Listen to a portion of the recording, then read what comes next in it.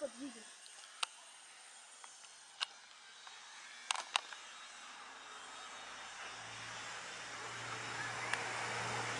Я снимаю.